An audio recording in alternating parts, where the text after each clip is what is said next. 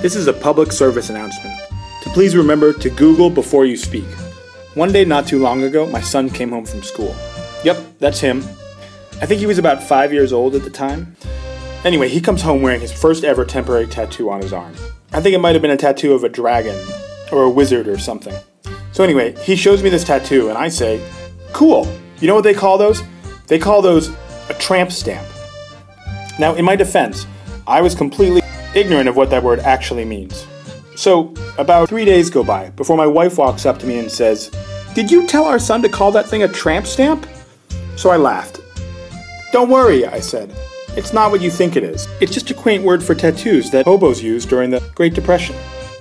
It's not my fault if other people think it's some offensive term. Then, about 10 minutes later, I remembered we had this thing called the internet, and so I tried looking it up. And as I'm betting you already know, tramp stamp is definitely not a Depression era hobo term. In my defense, however, stamp tramp most definitely is a Depression era hobo term. The moral of the story, of course, always Google before you speak, for the children's sake.